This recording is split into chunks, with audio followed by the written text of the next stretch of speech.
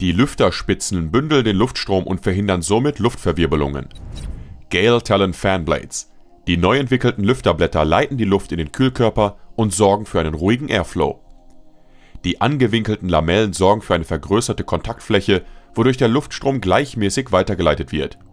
Die Heatpipes sind mit durchschnittlich 6 und 8 mm in zwei unterschiedlichen Größen verbaut, um die Wärme optimal für eine außergewöhnliche Kühlleistung auch unter extremen Bedingungen abzuleiten.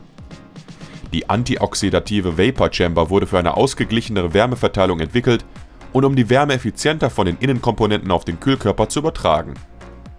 Genießen Sie die Stille während der üblichen Arbeitsbelastung einer Multimedia-Anwendung. Die Metall-Backplate bietet durch präzise Ausschnitte maximale Kühlung. Außerdem ist die Gravur auf der Backplate ein weiteres Highlight der Grafikkarte.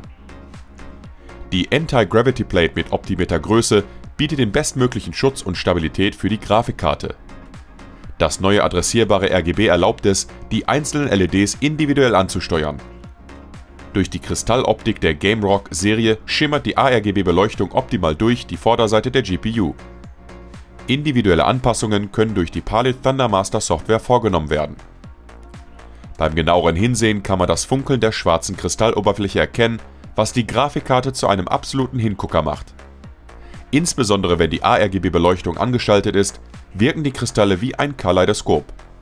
Ohne weitere Software-Einstellungen kann die Beleuchtung ganz einfach mit nur einem Kabel mit anderen ARGB-kompatiblen Geräten synchronisiert werden.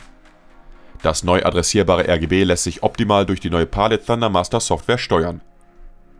Wenn Sie das Gerät kaufen möchten, dann schauen Sie gerne in der Beschreibung unter dem Video.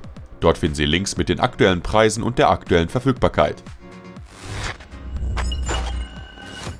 Und hier sind die Ergebnisse der Spieletests.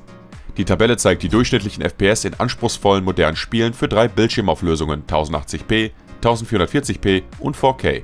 Alle Tests wurden mit maximalen Grafikeinstellungen durchgeführt. Wenn Sie also mit den Grafikeinstellungen im Spiel herumspielen, können Sie noch bessere Ergebnisse erzielen. Teilen Sie Ihre Meinung zu diesen Ergebnissen in den Kommentaren.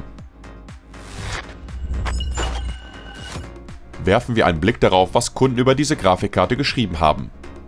Negative Aspekte. Schwer und sperrig, nicht so praktischer Stromanschluss. Es verbraucht Last. Und das sind die positiven Seiten.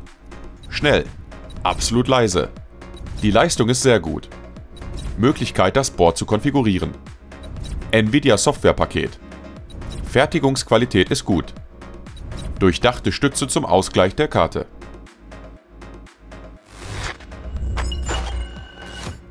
Damit ist unser Test nun abgeschlossen. Gefällt Ihnen dieses Modell und möchten Sie den aktuellen Preis wissen? Schauen Sie sich gerne die Beschreibung unter dem Video an. Dort finden Sie alle Links, die Sie brauchen. Haben Sie Fragen? Schreiben Sie sie in die Kommentare. Ich werde sie gerne beantworten. Ich freue mich, wenn Sie dem Video ein Like geben und uns abonnieren. Ich bin schon dabei, das nächste Video zu erstellen. Um es nicht zu verpassen, klicken Sie gerne auf die Glocke. Bis dahin.